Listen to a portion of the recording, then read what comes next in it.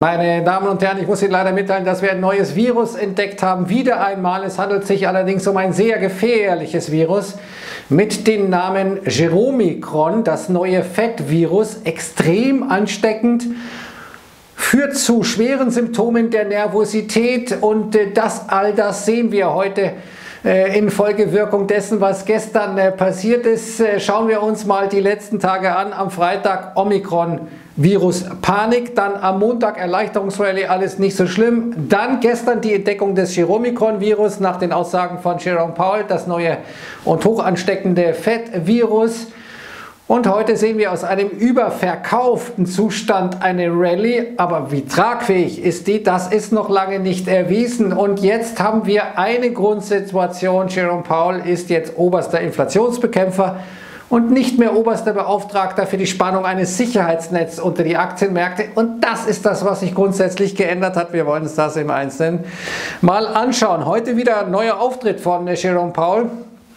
Das war ja so geplant gestern und heute. Er hat im Grunde nicht viel Neues gesagt, aber eben das nochmal klar bestätigt, was er gestern gesagt hat. Risiko höherer Inflation ist äh, deutlich nach oben gegangen. Äh, die könnte viel mehr persistent sein, also dauerhafter sein. Und wir sind überhaupt nicht sicher, wie der Inflationsausblick wirklich aussieht. Also da hat er anerkannt, dass die Fed sich ganz klar geirrt hat, dass die Fed seit Monaten im Grunde Unsinn erzählt hat. Aber was folgt daraus? Das ist die spannende Frage.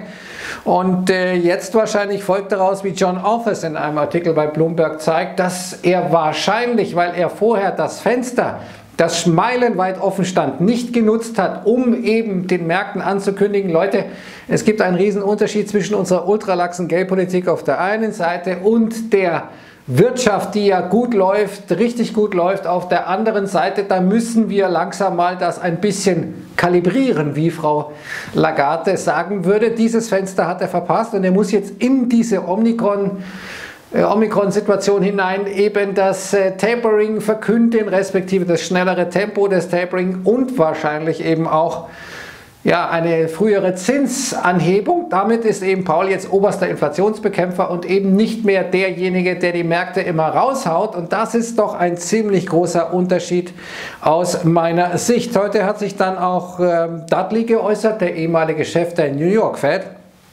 Und der hat gesagt, ja, ob es die Märkte mögen oder nicht, Jerome Paul muss jetzt schärfer sozusagen agieren. Die Fed hat gar keine andere Möglichkeit mehr, nachdem Paul gestern ja angedeutet hat, wir werden das Tapering beschleunigen, also die Reduzierung deutlich erhöhen der gekauften Anleihen, damit deutlich früher fertig werden.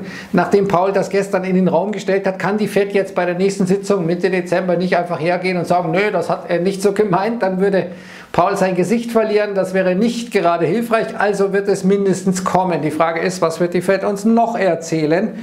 Und äh, hier Danske etwa, die äh, dänische Bank, sagt also, wir werden jetzt im April schon fertig sein mit dem Tapering und dann im Mai die erste Zinsanhebung sehen. Mal sehen, ob es so kommt. Da sind ja viele Unsicherheitsfaktoren natürlich noch der Fall. Aber da hat sich schon grundsätzlich etwas verändert. Und ja, die FED hat endlich ein bisschen Realität geschnuppert. Nicht nur läuft die Wirtschaft sehr gut, sondern auch der Jobmarkt. Das war ja das, was Jerome Powell uns monatelang erzählt hat. Ja, der Arbeitsmarkt, der könnte sich noch ein bisschen erholen. Jetzt gucken Sie sich mal hier vom ähm, Conference Board gestern die Verbraucherstimmung an Jobs Plentiful. Also Jobs, die, äh, wie ist die Jobsituation? Gibt es viele Jobs, gibt es wenig Jobs? Wir sind auf einem neuen Allzeithoch, was äh, die Aussagen der Amerikaner betrifft. Jobs plentiful, also so viele Jobs, du kannst dich gar nicht retten. Es gibt also eine enge Situation am Arbeitsmarkt und da ist die Lohnpreisspirale schon angegangen die bei uns in Europa noch bevorsteht. Also hat der Paul alle Gründe jetzt zu sagen, hm, ich werde ein bisschen vorsichtiger, das kommt nicht aus dem Nichts. Und wir sehen ja, dass die Märkte schon länger reagiert haben. Wir haben nicht nur die High-Yield-Bonds im Abverkauf, also die hochriskanten Unternehmensanleihen, die als die Fed massiv und unbegrenzt und ohne Ende offenkundig erstmal Geld in die Märkte gepumpt hatte, ja haussierten. Da hat man sich gesagt, ja egal, äh, die Fed pumpt Liquidität in den Markt, da ist ein Sicherheitsnetz, dann kann ich auch Junk kaufen, ist überhaupt kein Problem. Aber wir sehen jetzt zum Beispiel, dass die Aktien schlecht laufen, deren Firmen oder die Firmen äh, und ihre Aktien schlecht laufen, die eine schlechte Bilanz haben, also die nicht eine gute Substanz haben. Hier sehen wir, wie das dann äh, in der Corona-Krise abgeschmiert ist, dann nach oben gegangen ist und jetzt fast schon wieder auf dem Niveau des Corona-Crashes ist bei diesen Aktien mit äh, schwacher Bilanz. Und wir sehen insgesamt eine massive Divergenz ja nach wie vor zwischen dem Breadth, also der Marktbreite, und den Kursen, die wir hier gesehen haben, S&P immer weiter nach oben, der Breadth immer weiter nach unten. Historisch ist es so, dass das eher nicht zu dauerhaft höheren Preisen bei Aktien oder der Aktienmärkte insgesamt führt, aber lassen wir uns mal überraschen. Jedenfalls sehen wir, dass wir jetzt im November, also dem gerade abgelaufenen Monat, ein neues Allzeithoch gemacht haben mit durchschnittlich 45,2 Millionen Optionskontrakten äh, pro Tag. Das ist äh, mehr als im Januar, da war der neue Rekord aufgestellt worden mit 44,3 Millionen. Also wir sehen, da ist also jetzt praktisch eine Situation da, dass äh, wirklich alle in diesen Optionen, in den USA vor allem, in diesen Optionen sind. Das zwingt Market Maker teilweise eben mitzugehen, sich abzusichern und dadurch entsteht eine gewisse Dynamik. Heute alleine sehen wir eine immense Volatilität, wuff, wuff, rauf, runter. Da sind große Sprünge dabei, also so ganz schur ist man sich nicht trotz dieser Rallye. Sonst würde der Anstieg, äh, naja, kontinuierlicher verlaufen. So richtig intakte Bullenmärkte, die steigen langsam, gemütlich, weil keine Angst da ist, weil irgendwie keine Sorge da ist. Heute geht es deutlich nach oben, aber es ist nervös. Das immerhin ist erkennbar. Gestern übrigens der Nasdaq oder 17% der Nasdaq-Aktien auf einem 52-Wochen-Tief. Das ist äh, das höchste, was wir seit März 2020 gesehen haben, als am 23. März die Aktienmärkte einen Boden gebildet haben. Und hier sehen wir das mal von Sven Henrik in einer Grafik, die sogenannte Advanced Decline Linie. Wir sehen, dass der Nasdaq weiter tendenziell gestiegen ist und äh, die Aktien, die fallen, deutlich, deutlich in der Mehrheit waren. Hier sieht man einfach mal, wie krass diese Situation ist. Also wer jetzt normale Aktien hält, nicht die großen US-Tech-Aktien, der ist ziemlich angeschmiert, da ist viel, viel Schmerz dabei, der kaschiert wird eben durch die großen US-Aktien, wie eine Apple, die gestern ja wundersamerweise gestiegen ist.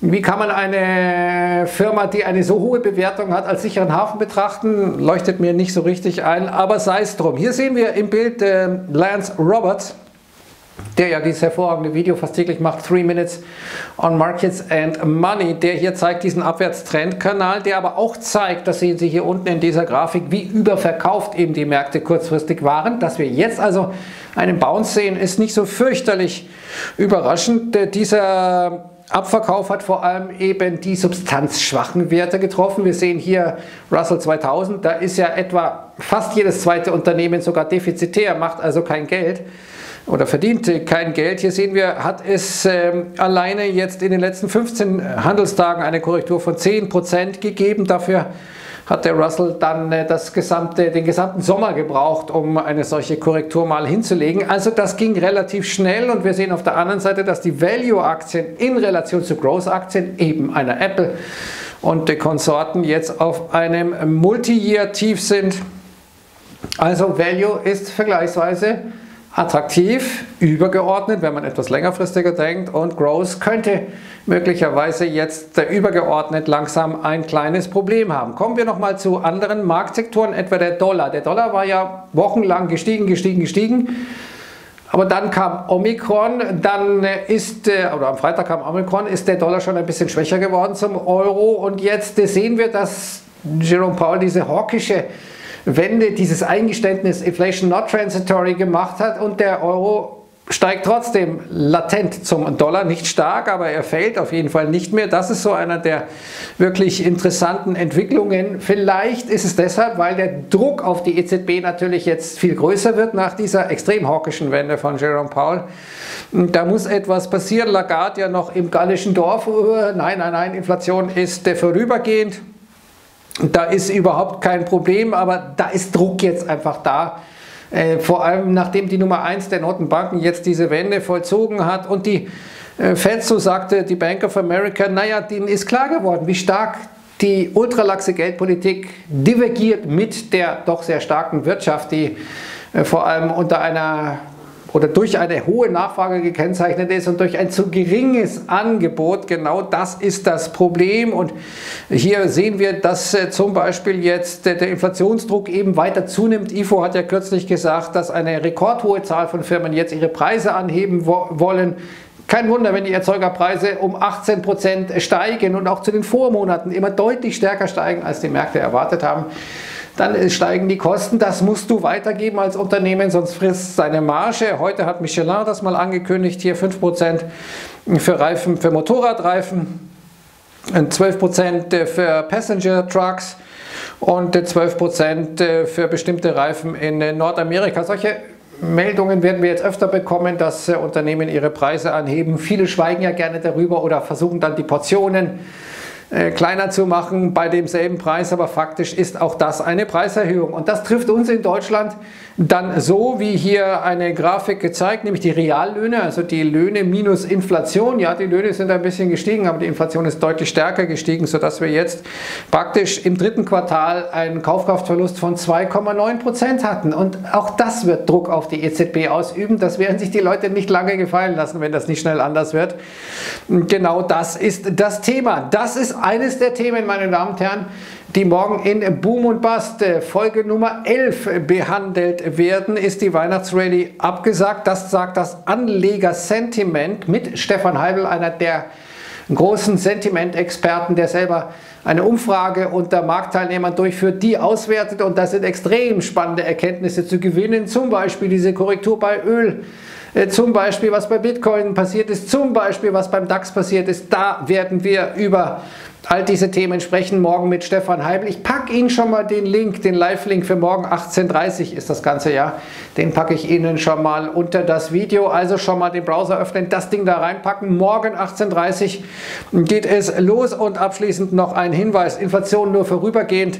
Warum das falsch ist, Ideologie und Realität, da habe ich äh, mich ein bisschen auseinandergesetzt in diesem Artikel mit einem Video von Heiner Flassbeck, so ein alter Keynesianer, der immer sagt Nachfrage, Nachfrage, Nachfrage und wir haben noch drei Millionen Arbeitslose. Wie sollen da überhaupt Inflation entstehen? Das ist Denken von vorgestern nach meiner Auffassung, denn die Inflation ist derzeit getrieben eben durch die starke Nachfrage. Da brauchen wir keine Stimulusgeschichten mehr. Wir finden kaum Leute, die eben die Arbeitsplätze ausfüllen. Die wären schon da, wenn man äh, wahrscheinlich möchte. Viele werden jetzt auch von dem steigenden Mindestlohn profitieren durch die Ampelkoalition.